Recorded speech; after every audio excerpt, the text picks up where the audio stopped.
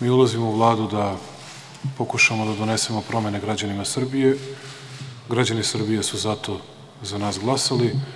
Ako možemo to da uradimo, ako možemo to da napravimo, onda ćemo učiniti veliku stvar za našu zemlju.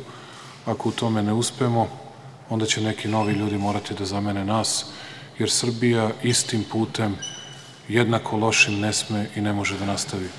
Što se tiče pitanja kojima ću se lično baviti, želim da vam kažem da će Srbija biti bezbedna zemlja i da će u Srbiji borba protiv kriminala i korupcije ići s vrha, a ne od onih koji su manje krivi, pa da čekamo dugo na one koji su najveći krivci za sve što nas je snašlo. Hvala vam najlepše.